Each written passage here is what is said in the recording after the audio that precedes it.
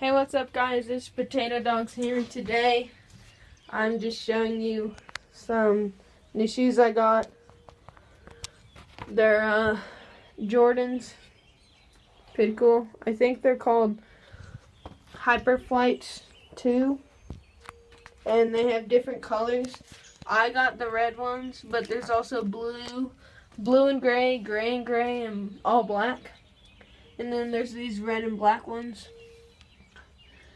And then the reason I like them so much is because that right there. It reflects. So like when you're walking and you look down, it can like reflect to light. And then I bought these $16 socks.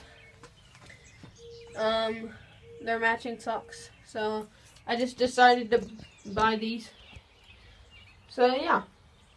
And uh, here, I'll let you have a little glimpse of them. The bottom says 23. Uh, there's the back. There's the front. And, uh, there's that. Here, wait. You can see the inside. Nope. Okay, um, well, yeah, that's what I was wanting to show you.